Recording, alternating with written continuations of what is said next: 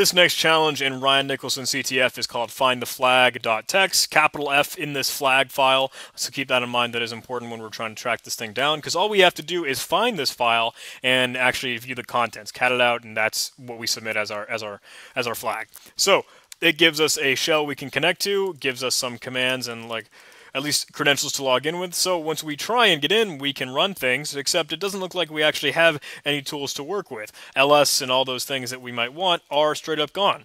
So I was wondering like, well, okay, what is this? Do we still have the files? and I tried them in their absolute directory, and that seemed absolute path, and that seemed to work okay. So I was curious what was really wrong here. There's nothing in this directory. That's the only reason why um, ls didn't work. If we wanted to tack L, we could see it, or tack A, whatever. But so we know that that command is there, but for some reason we couldn't actually execute it. So I wanted to check out what is the path environment variable set to, and I notice that it doesn't have forward slash bin or any of the other paths that we're used to particularly in there. So if we wanted to like find where the find command is, what we wanted to use, we wouldn't be able to. Where is which? Is that in bin? Yeah, so we could check out find, which it apparently doesn't have, whatever.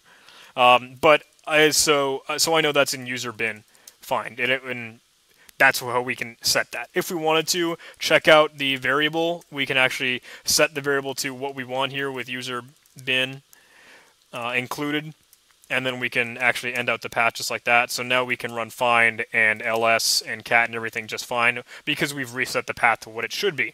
So let's go ahead and actually run that find command.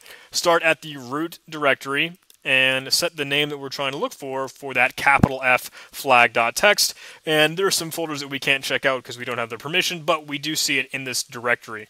So let's cat out that lib x86 x64 Linux GNU security flag.txt. And did I spell something wrong? Uh, I needed to have an underscore there. My bad.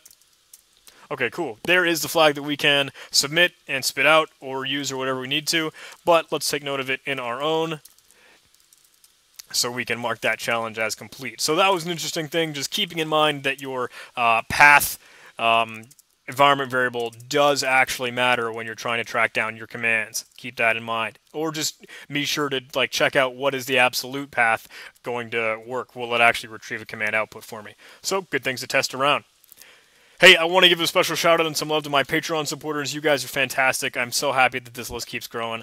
Um, $1 or more on Patreon will give you a special shout out at the end of every video just like this. $5 a month on Patreon will give you early access to everything uh, that I release on YouTube. Hey, if you did like this video, please do press that like button. Maybe leave me a comment if you're willing to subscribe. Uh, and check us out on Discord. Link in the description to join the server. And uh, I'll hopefully see you on Patreon. That'd be awesome. Thanks.